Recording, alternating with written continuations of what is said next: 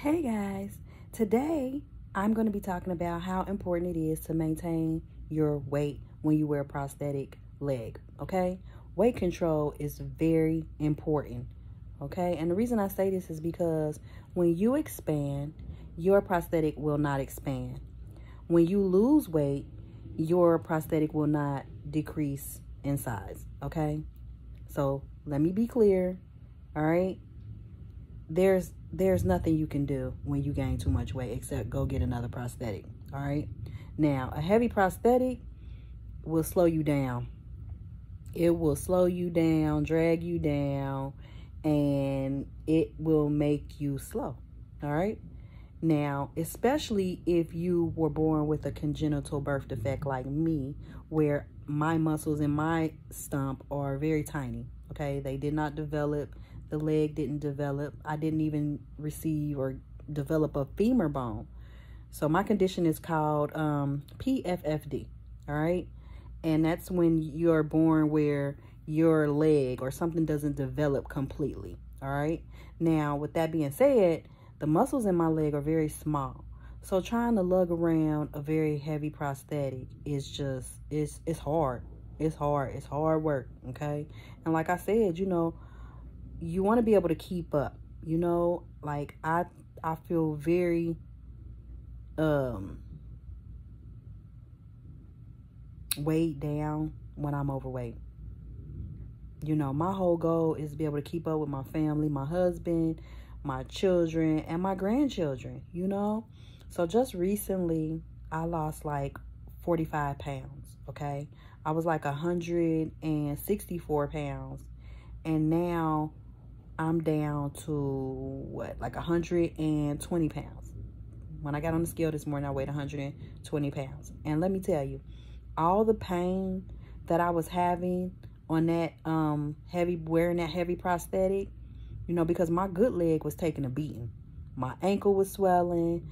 My knee was feeling like it was going to break if I hop on it one more too many times. I had to pull my crutches out. And normally I can hop around, hop around really good. I have really great balance. So, you know, when my leg felt like it was going to break in half one day, I was like, okay, enough is enough. And then my knee was swelling up and my foot was swelling up. And when I went to the doctor, they were like, you got a little arthritis going on, osteoarthritis. That's what they told me. And um, I just started feeling like an old lady. I'm like, what in the world is going on? That weight, it hits you differently when you get as old as I am. I'm 50, okay? And even over the years, when I was heavy, I felt it. I felt that leg. It was heavy, okay? So, um, a healthy diet is really important. And, you know, right now, I don't eat grains. I don't eat pork. I don't eat sugary, starchy foods, sugary drinks. No sugar. Nope. And I want to say this. Please don't feel sorry for your children, okay? And be giving them snacks to compensate for what you think they may need. They don't need an extra bag of chips or extra Twinkie or a Hostess cupcake or a whole bag of candy to make them feel better, okay? Give them some fruits and vegetables and lean meats, okay? Cut the processed foods and the junk out, okay? Because your kid is going to be big and they're going to feel it, okay? They're going to feel it. You know, do not let your child get overweight. Do not. And I know some people are like, wow, how who is she to be telling somebody what to do? I'm not. I'm just sharing some valuable advice that I feel like will be more beneficial, you know, for people that wear prosthetic legs. All right. And I've been wearing a prosthetic leg since I've been three years old.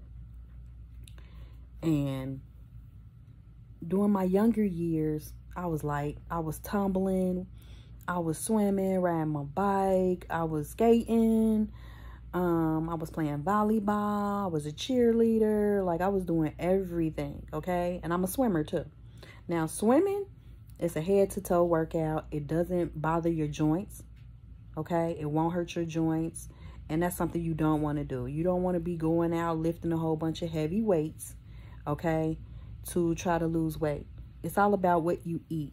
Don't waste your time in the gym uh time trying to uh lose a massive amount of weight. You have to change your diet. You know, and then I always feel like it's better to lose the weight first and then tone up.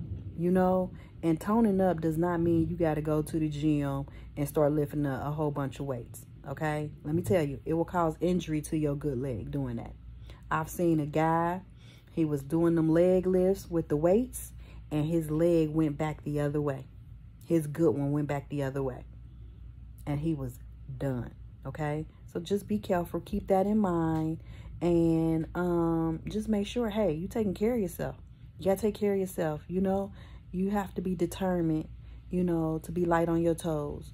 And right now, I've um this year alone, I've received two prosthetic sockets, okay? And um, they're about to make me my third one because I've lost so much weight, you know, and I'm maintaining this weight. And I feel great because I've never been able to, you know, basically maintain my weight. So, you know, uh, it's hard work, you know, but with determination and a lot of love. And I'm saying the love for the parents. A lot of love, attention to your child. It can be done. It can be done, you know. So, um, with that being said, I'm not going to hold you guys all day talking about weight control. But it is important. There's no need to be getting becoming overweight, sitting around, you know, feeling sorry for yourself or your kid. You know, get up, get going, move around, eat right, lose weight. And if you heavy right now, lose that weight. Lose that weight. Because you're going to struggle. Those legs can be, they can feel like a ton of bricks when you when you walking around and carrying them around and stuff like that. Like I feel good. I'm the size I was when I was in high school. And um, you know, I'm loving it. So, hey, I love you guys. And I'll talk to you later. Hey, and don't forget to like, subscribe, and comment. All right.